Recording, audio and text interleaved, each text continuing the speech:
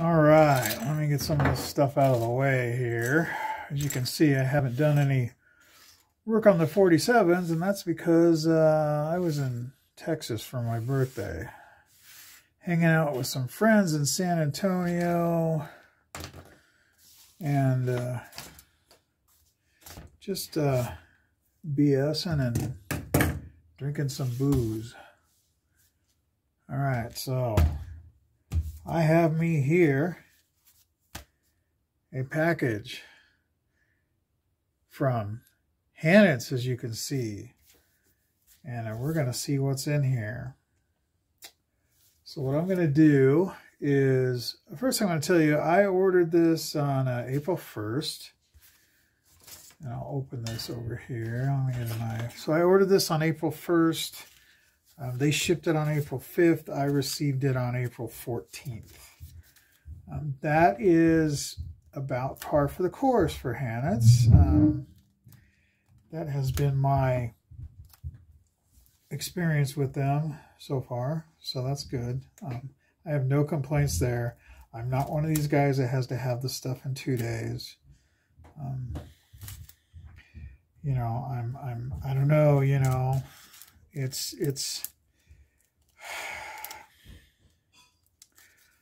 well i'm not going to get into that. It's it's just you know it's kind of silly in my head that i guess if you're a um, a commission builder and you're on a schedule that's one thing. But if you're just a hobbyist like most of us you know, you and you can't, you know, be down or whatever, then I, I would say, you know, your options are plan better or chill. right? It's not like it's your car and you need it to go to work or something. Anyway, um, so let's see, see what we got here, and then we'll look at everything. So I, what I ordered I remember what I ordered? I ordered some decals and I ordered some cockpit sets.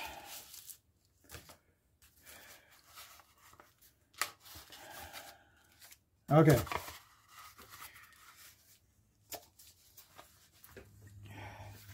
Now, as you can see, this is a nice thick brown paper envelope and they put a cardboard stiffener in it. So bravo to that. Um, I spent I don't remember how much I spent. It was fairly reasonable. The shipping was only it was less than eight dollars um, from the UK to the US. So, um, so the main thing I wanted to get was this. Yanks with Roundels, Part 4, P-47D Thunderbolt and RAF Southeast Asian Service. Um, Xtradecal, 48 scale, so it's right scale. And, um, you know, I don't know if I've used these before or not, but, um, let's open them up and see what, see what they're like here.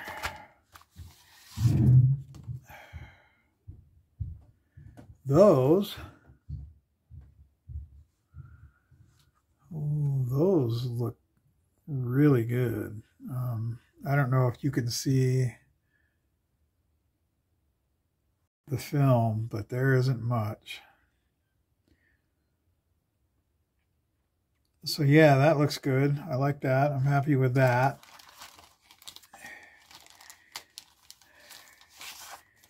And these are So here's the cover sheet that gives you um, their paint line, instructions on how to use them, specifies microsol and microset. And then here are the um, placement guides for the different aircraft. And there are Okay, so these are the profile views. There's one, two, three, four, five, six, seven, eight aircraft on this sheet. Okay, I think I paid like $15 for the sheet, maybe less. It wasn't wasn't that bad. um, oh, no, 9, 10, 11, 12. There's 12 options.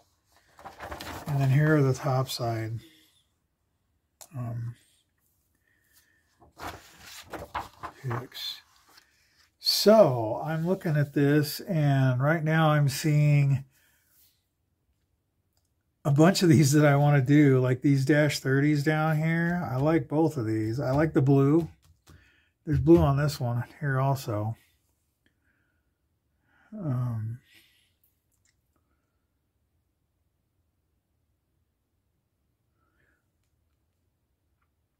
wow sorry, I'm just kind of I'm I'm just kind of taking this all in because I really I really like these schemes. They look great. They look really good on the Thunderbolt.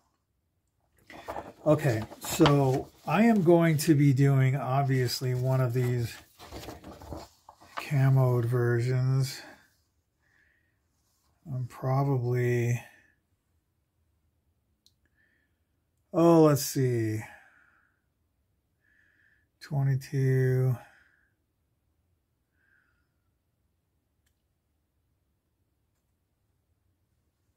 Has a 28.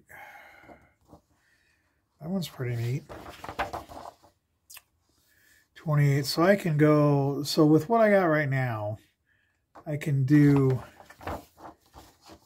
any one of these three. These two, and this one, this one here. Um, so we'll have to take a look at them and, and figure out what we want to do. I, I need to paint, I'm obviously going to have to paint some white um, that I haven't done yet. But other than that, it looks like um, I'm done with the paint on that thing other than the white. As far as the natural metal one that I have here, these are all dash 30, dash 30. These are all dash 30s. So in order to do this, any one of these aircraft, I would need to do a... Basically, I have to take and build them out of the M kits that I have. I've got four M kits left in the stash. Um, and I just might do that. We'll see. And if I'm going to do that, maybe I take this natural metal dash 28 that I got here and do it up in a something else, some other thing. But yeah, these decals look pretty good. These these look good. These look good. Happy with that. Like I said, I, I, I think they were actually sub $15. They weren't that much. Oh, coolness, coolness, coolness. That's Xtradecal sheet X48115. We'll set that over here. This is A10 stuff. On print scale, A10 Thunderbolt 2. This is for A10As, not the current C models. Um, because I'm just that kind of guy. Uh, the reason I have this is I have um, a monogram A10 kit and I have the old Tamiya A10 kit. And if I can get these suckers out of here. Uh, um, well, that's interesting. So it's on a blueback paper, which is interesting. Again, this is these are something that I have not used. Um, this has got some interesting schemes on it. I'm I've always liked the Jaws schemes. Um, so there's that. This I find very interesting. There's an F-16, early F-16 scheme that is very similar to this that I like also. And there's the the European one um, schemes. Um, and there's, oh man, what do we got here? there are nine options on this sheet. And that's a little sheet. I mean, that's not that big. Um, looking at these, they are glossy and they are, they're definitely thicker than those Xtradecals, but I mean, they're not. Man, they're pretty thick. We'll see what happens. They don't look too bad. Um, interesting, they got the tip stripes in here too. A deadhead.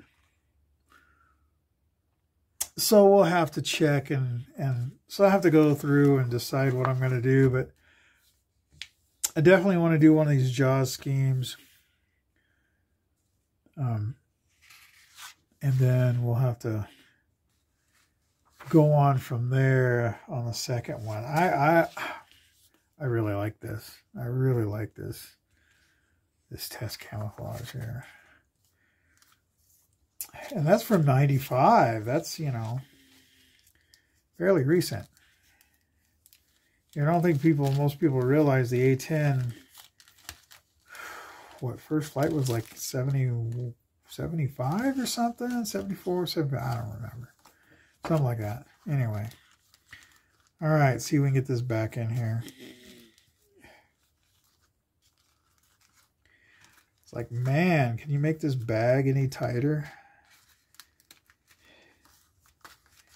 That's a tight fit.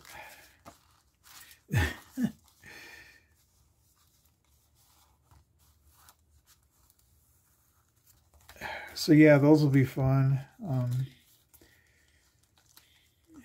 picking picking one of those schemes. Boy, that's that's complicated, but man. There were four different Jaws schemes. They're all basically the same, except they were different colors. And honestly, I would not mind doing the whole, doing all four of them one of these days, but that's not going to happen. I mean, I just had my birthday. I'm running out of time. All right.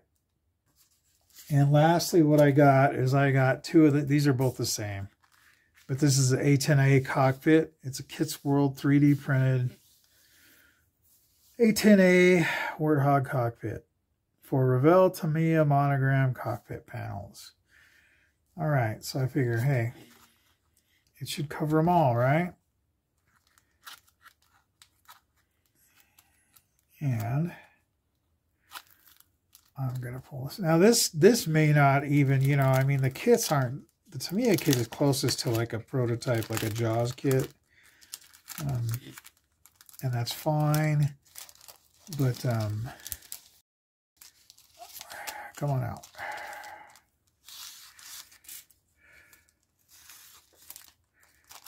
I want to see what this looks like. I don't have any magnification on on me at the moment.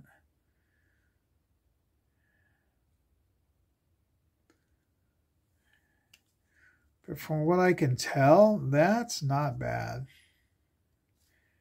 That looks pretty good.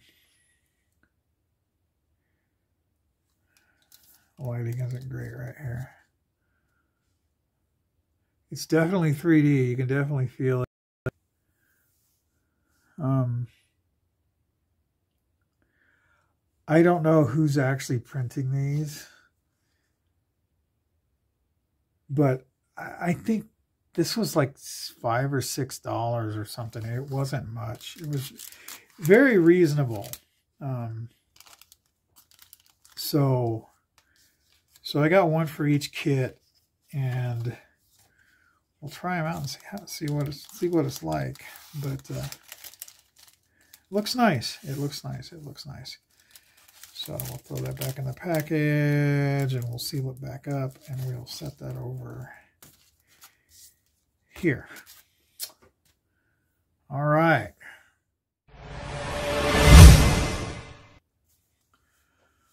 So there you have it. That's the latest thing I got. Um, really, the I, I the main the main reason for this video is you know don't be afraid to order stuff from out of from outside the U.S for for for my U.S. Uh, U.S. friends here, um, I know a lot of you are really paranoid about going outside of the borders to get things. Um, but the truth of the matter is, is almost everything that we buy comes from somewhere else, and so ordering it direct yourself shouldn't really be a big deal. Um, Hannants is always good, and they have lots of, they got a lot of stuff. And they have out of production stuff, and they have secondhand stuff. And, and as you can see, um, they package things well. Um, the shipping is reasonable. You know, they're just, they're just a good outfit. Um, and they're, no, they're not paying me to say this. They don't even know who I am, I'm sure. and that's fine. Um, but just as a as a uh, don't be afraid to order from from established established places, no matter where they are, is, is what I'm saying. Now, if you're one of those people that has to have it yesterday, that that'll be an issue for you. It's not for me. So, like I said, I don't care. I got plenty of time. Um, but again, there you go. So we'll cut it there on this one. As usual, take care of the people you love, and we'll see you next time. Bye.